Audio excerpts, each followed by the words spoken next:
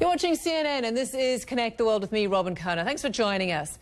So, Saudi Arabia's economy is getting a boost in the athletic arena as it gears up to participate in some of the world's biggest sporting events. World wrestling stars made their debut in the Saudi ring on Friday, and later this year, the country will kick off the World Cup. In the tournament opener against Russia, Becky Anderson spoke to the man helping to drive this change. We are at the King Abdullah Sports City Stadium, where a couple of days ago the atmosphere was quite different. It is quiet tonight. But when WWE's inaugural greatest Royal Rumble event was held here, I believe the atmosphere was electric. There were rumours that we wouldn't be able to hold international events such as this. However, the event was historic. Anyone who saw it on TV was unable to imagine that it took place outside the US. Many people, including women, of course, which very much speaks to the new vision for women's inclusion across a myriad of spaces, not least as part of the audience here. How important was that? Women make up half of society.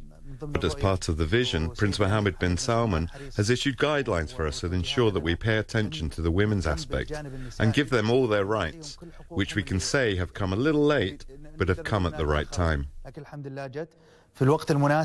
There has been some disappointment then by the worldwide audience that women weren't actually on the card. Will that change going forward?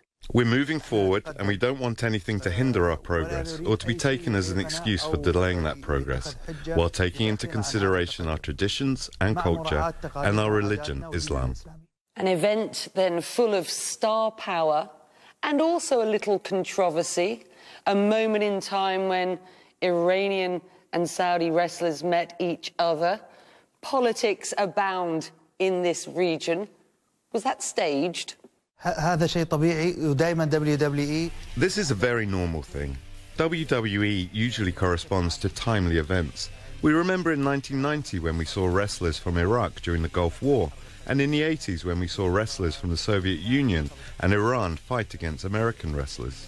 This is part of the suspense that WWE does. The Saudi football team will be going to the World Cup in Russia. What will success look like to you? We will work our hardest to achieve positive results and to raise the profile of Saudi football. This is the fifth time for us. We're no strangers to the World Cup. We've been away for a while, but we're capable of playing a beautiful game against Russia. Critics say that you intervene too much in the way that the team is run.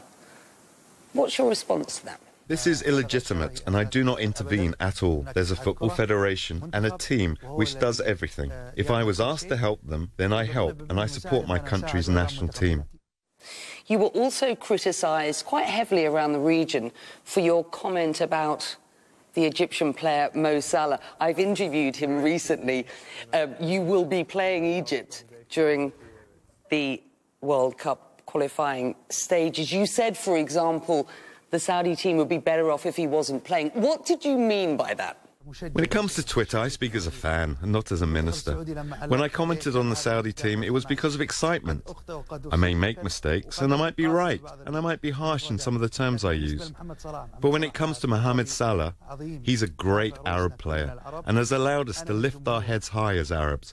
I am a fan, but what I wish is he wouldn't play against our team during that match.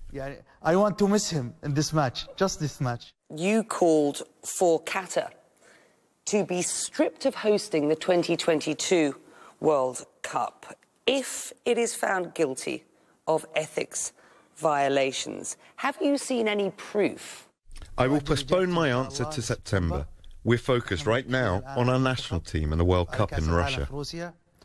September, uh, Vicky, I will see you inshallah again. On the bid for 2026, in a tweet earlier this year, you said Morocco was mistaken not to side with Saudi Arabia in the Qatar crisis, implying your country would not vote for Morocco's bid to host the World Cup. What exactly is your position, sir? We seek the best interests of Saudi Arabia. We haven't decided on our position yet, but the interests of Saudi Arabia come first. The US is an ally and is one of the strongest and greatest allies for us, as we are to them in the Middle East. Let me tell you something. One of the World Cups I enjoyed the most was in 1994 in the US, and there is an unbroken record for the number of attendees there, and it saw the best results for the Saudi team. So you're telling me you're going to support the US Mexico Canada bid. You're smart, Becky, and you can read between the lines. Do you genuinely care about Saudis and sport? Of course.